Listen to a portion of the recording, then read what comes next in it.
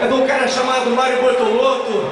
É. Tem dois filmes saindo, Meninos de Quixute e a nova versão do Bandido da Luz Vermelha, assistam, ele tá lá.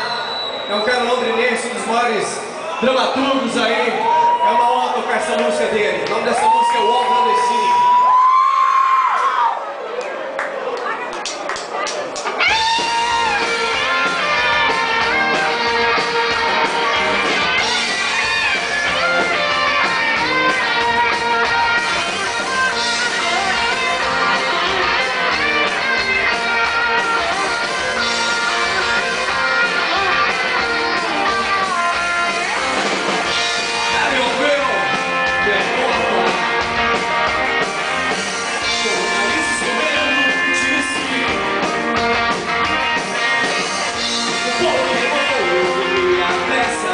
chá